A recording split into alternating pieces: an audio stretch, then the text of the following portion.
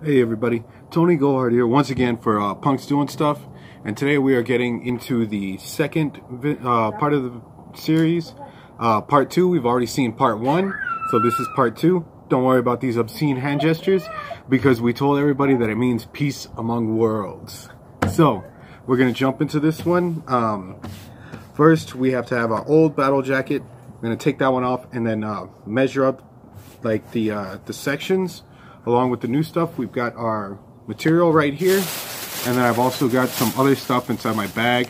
We've got a pencil to mark and then a marker just in case that doesn't work which I don't want to use because then it might make a mess.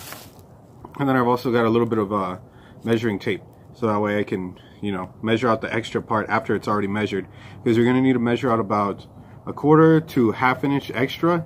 So that way you can get it uh, the right way and remember, I said measuring the vest, not other stuff. You're just going to be measuring the vest and adding a couple inches or parts of an inch. I don't know. So we'll figure that out as we go along. And uh, yeah, we're going to get into this right now.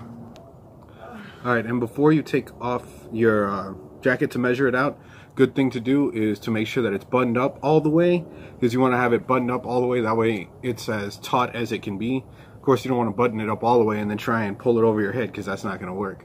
Leave the top two buttons undone take it off then button them up and then pull the thing inside out. So you're just gonna pull it off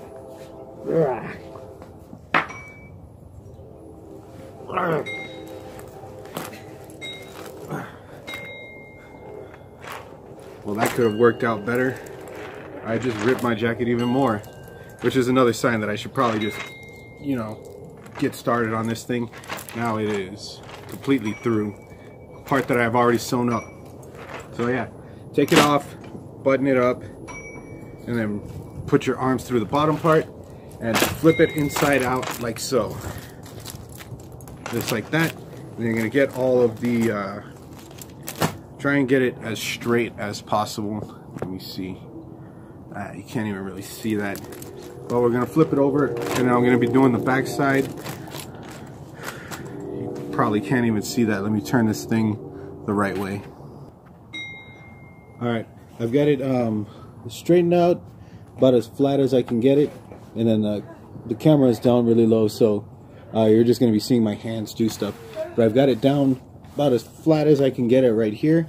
And I'm going to take the pants and use the top part of the pants where the thigh is. There's not a hem up there, so it should be easier to tell. I'm going to put it right there and measure it out to these sides up here and then to the left and right side. It's going to come down here. I'm going to drag it all the way down to the bottom. this these uh, material that I have right here, it's not quite big enough to do exactly what I wanted, but it's going to be, it's just going to have to do. Uh, this vest that I'm making, after I finish making it, it's going to be like a couple of inches smaller than the one that I am had, which isn't too bad. It'll just be a little bit tighter, but it, um, you know, it wasn't tight to begin with. So I'm going to take this thing and see if it'll mark and of course this does not mark. Let's see. Actually I'm gonna turn this thing around because it looks like this was supposed to be the inside of the pants and the other part was the outside. So again I'm gonna do that and then yeah it's still not gonna mark. Let me see. I had a pen in here. I don't know. Yeah blue pen. This may or may not appear. Yeah it's appearing the lighter the better because you don't want to use anything too heavy because then that's gonna um, it could bleed whenever you wash it or whatever. So try and use a pen if you can. Off. Trying to make this thing straight but it's still coming off a bit. So then just mark that side like that and then that tape measure that I had like I said you're gonna measure from the line that you just made. You probably can't see it on this thing because it's already getting dark. Again I'm starting this at sunset but we're gonna take that and then yeah about an inch extra of material. So you'll just do that and then you'll just drag it this way an inch. Make a straight line. Then when you cut it you'll fold it over for the hem. So we've got that part. Then you'll just come down the sides for the center portion for the back and then the other part as well. And then because this is going to have enough extra material I might be able to get one of the side panels done from this part. It looks about the same and plus there's already a hem right there so I don't have to worry about sewing that up. I'm just gonna have to use an extra thick needle to pierce through.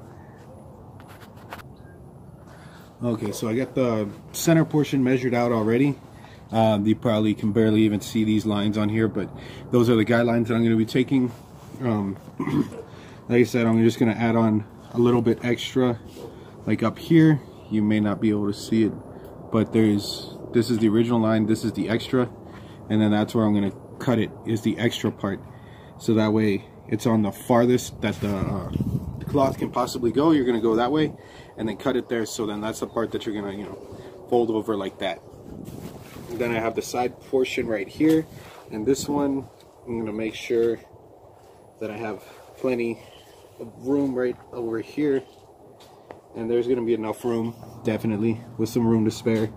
Like I said this part's already sewn up because this was from the bottom of the pants. So I'll just be able to trace that. And then I'll cut them and fold them over. Okay so now that I've got this part measured out this is the side panel where the arm is going to go for the back portion.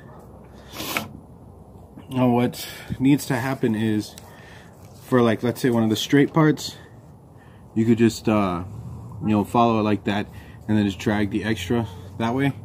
But for this because it's not straight is if you can manage to do it like that with just tracing it like that then go for it.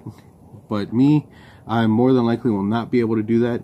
So I'm gonna do the next best thing. I'm gonna measure out half an inch actually go three quarters of an inch from here three quarters of an inch from here three quarters here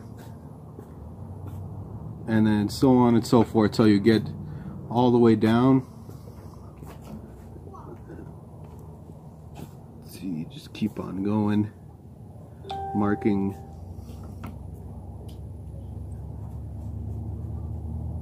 And then there we go. That's the uh the armpit I guess. And then just kind of connect the dots. Just like that uh, can't even see it. Yeah there we go yeah you can kind of see it. Ugh, my hair's in my face. Yeah I can kind of see it. This this is the inner line this is the outer line. You're going to be cutting along the outer line that way. And then we're going to keep on measuring it down and then doing the same thing. Only that for this part because it is straight and you shouldn't have a problem with that. Just go right here and then you can just trace all the way down. If you have like a ruler but because I'm using this thing it's not going to be as easy. I, mean, I guess I could do it with this pencil. Mark it off like that. But like let's see. Go right there. So that way I can make sure that it's good. But then again this table that I'm working on it's got these little notches. So anything that I do is gonna fall through but it's all right because if this part's a little bit longer than you know the three quarters that I said it's just gonna get folded over and put into the seam. So this is gonna be good. Uh, go all the way down.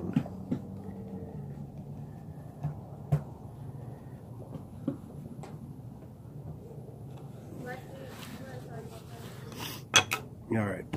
And then this this should be good just double check it on the vest make sure that it's right. I don't have to add the extra on this one I don't think but I'm gonna double check it anyway. This side I measured it and it's all the way to the end so that's gonna get folded over. So I'm gonna check that and I'll be back. All right so we've got the fabric cut. This is the back portion. Um, I probably should have left something on there so that way I could signify which part was the top and which one was the bottom, which is a good thing to do. But because of the way that it was cut, I already know that this top part was the part that I added the extra to. So I'm just gonna fold that over like that. If you have an iron, definitely use an iron because it'll keep the, um, the fold down. And now what you're gonna do is you're gonna take one of your needles like that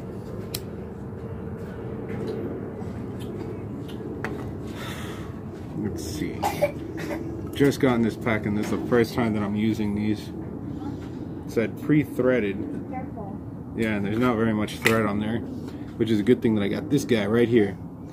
A full um, 200 yards which is going to be more than enough to be able to do this and several other patches that I'm going to put on there. And let's see. This thing just double it over like that in the tie and not in the end so that way it doesn't come out while you're passing it through the fabric. Lexi, move back. like that.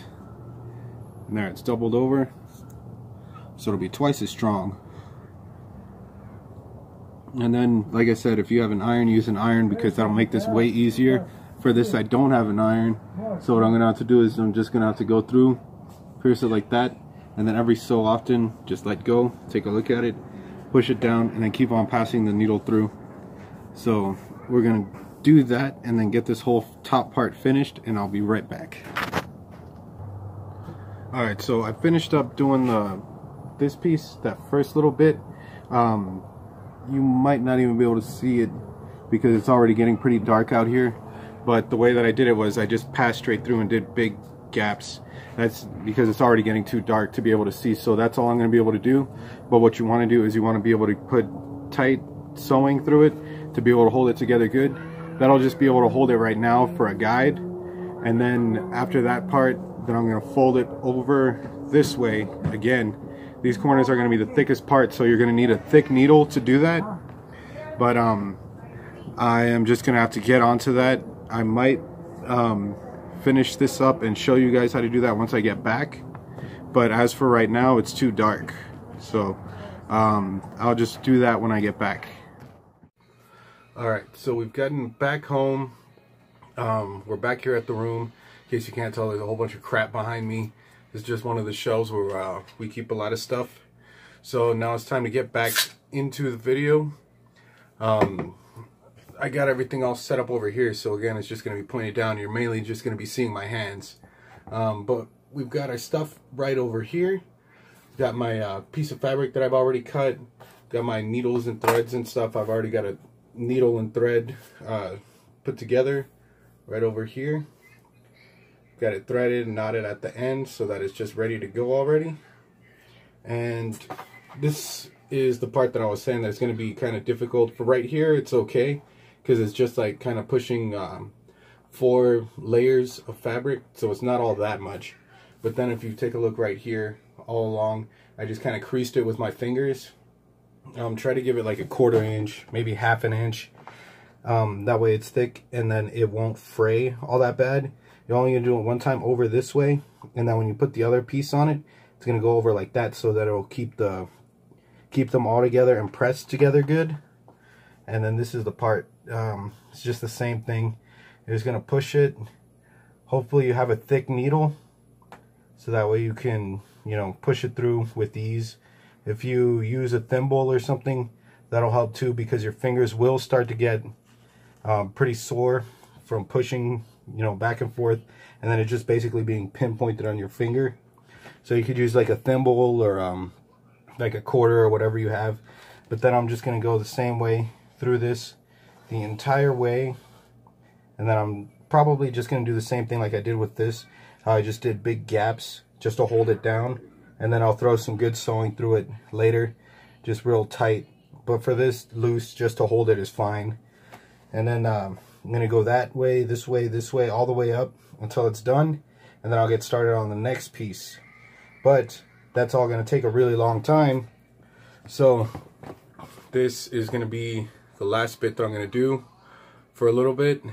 Um, I'm gonna get all that stuff together and then I'll start showing you how how I was saying you're supposed to layer it over so that way it holds it together snug and tight. Um, so I'm gonna do that and then I'll also be showing you how to make patches and stud and do all that other good stuff but one thing at a time. So I'm gonna get this stuff going and then uh, I gotta start editing this. And then on the last video, the whole middle section was just blank. There wasn't too much important information in there, but the fact is that it was blank, so um, I updated my video recording and editing stuff.